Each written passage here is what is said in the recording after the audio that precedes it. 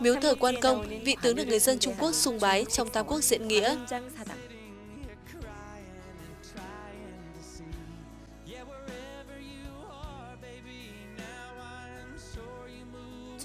Chợ truyền thống Hội An nơi có thể tìm kiếm cuộc sống thường nhật của người dân địa phương.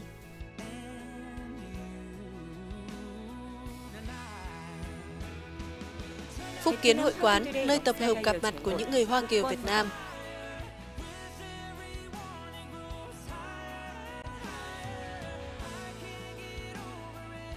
Thánh điện Mỹ Sơn, nơi còn lưu giữ nhiều vết tích của Vương triều Champa.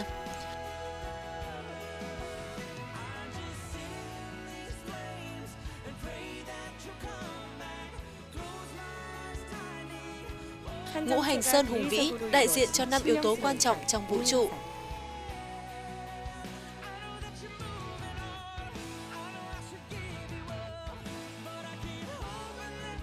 Bảo tàng Đà Nẵng, nơi giao thoa của quá khứ và hiện tại.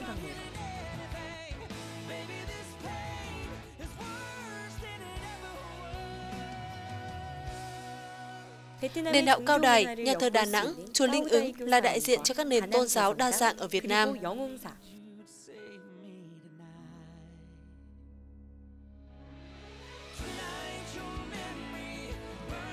Với cáp treo có độ dài lớn thứ hai trên thế giới, Hills là nơi nghỉ dưỡng xứ thần tiên.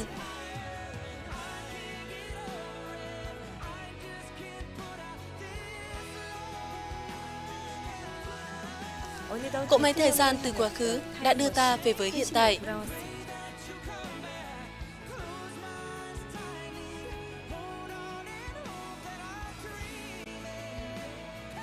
베트남을 이해하고 경험을 쌓는 소중한 시간이었는데요. Tại sao bạn không tham gia vào cuộc hành trình lịch sử thế giới ngay bây giờ?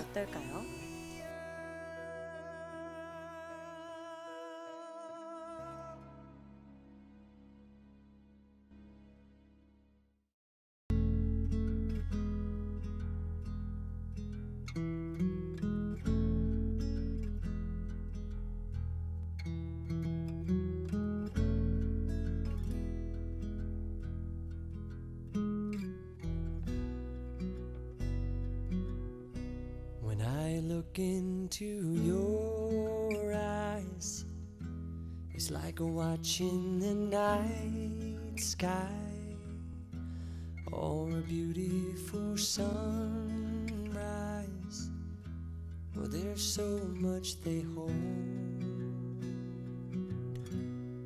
and just like them old stars. I see that you've come so far to be right where you are. How old is your soul?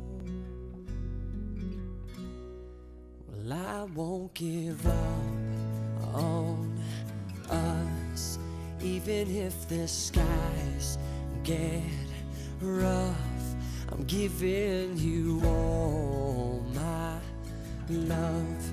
I'm still looking up. And when you're needing your space I to do some navigating, I'll be here patiently waiting to see what you find. even the stars